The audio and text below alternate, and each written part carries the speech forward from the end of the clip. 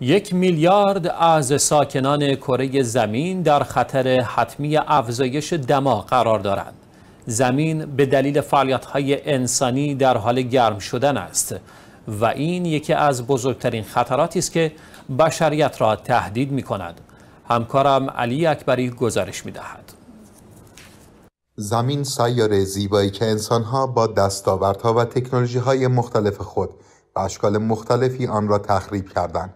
حالا این تخریب ها گریبانگیر انسان ها شده و می تواند برای نوع بشر خطر بزرگی محسوب شود. یکی از این خطرها افزایش دمای زمین است. بر اساس تحقیقات محققان انگلیسی اگر افزایش دمای کره زمین به دو سلیسیوس برسد دست کم یک میلیارد انسان را به طور مستقیم تحت تاثیر قرار خواهد داد. همه تلاش محققان و البته ادعای سیاستمداران این است که افزایش دما را در سطح یک و نیم درجه نگه دارند.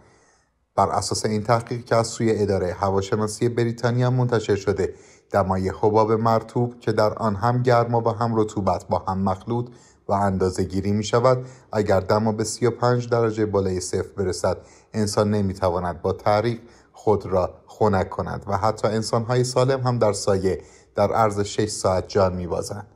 بر این اساس اگر تلاش های بین المللی به نتیجه ننشیند و دمای کره زمین چهار درجه افزایش یابد. دست کم نیمی از مردم کره زمین. برای ادامه زندگی دچار مشکل خواهند شد. نتایج بررسی ها نشان می دهد تلاش های بین المللی در جریان توافقنامه پاریس در سال 1394 برای کشیدن ترمز روند افزایشی متوسط دمای کره زمین به نتیجه نرسیده.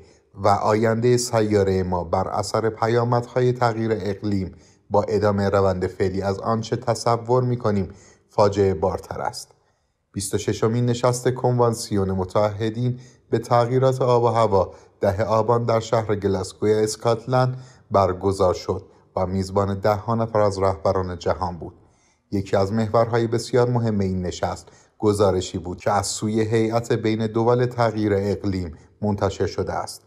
طبق این گزارش افزایش دمای 5 ممیز 3 درجه کره زمین به جای 5 ممیز یک درجه تا پایان قرن 21 فرایندی نپذیرفتنی است.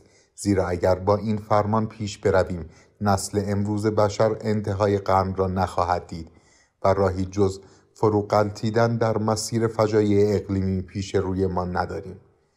بنابراین لازم است جهانیان اهداف بلند پروازانه ای را در راستای کاهش انتشار دیوکسید کربن و سازگاری با شرایط کرونی در پیش بگیرند به رغم همه اینها در دو دهه منتهی به سال 2017 دست کم 166 هزار نفر از مردم دنیا بر اثر گرمای زیاد جان خود را از دست دادند.